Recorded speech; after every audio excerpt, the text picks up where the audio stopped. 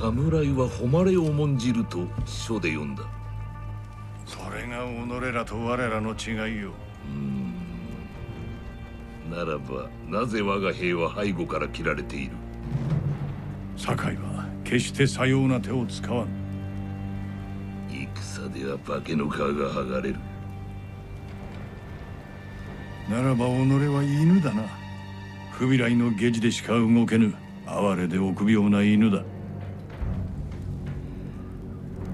前の老いも侍の道に背き犬になるつもりのようだ。止めたくば大元国に下るしかない。そして我らは本土襲来の手先となる。違うか。考えておくことだ。ただし急がねば己の老いは道を踏み外すことになるぞそれまで首がつながっていればな。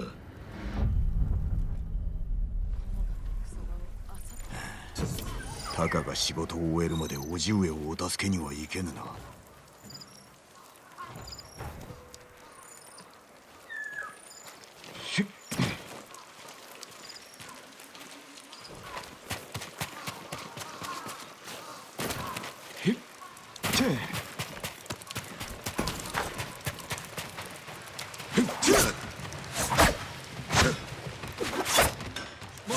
の動画まだできておりません。今少しお待ちを。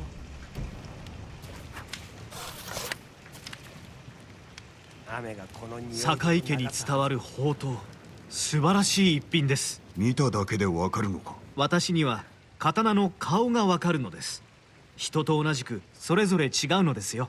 酒井様素材をお持ちくだされば喜んでその宝刀を鍛えて差し上げましょう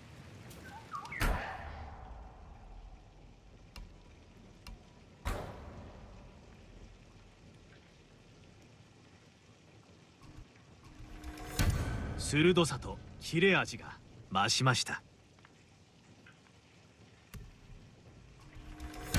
鉄すら切れるでしょう。酒井様十分な素材をお持ちください。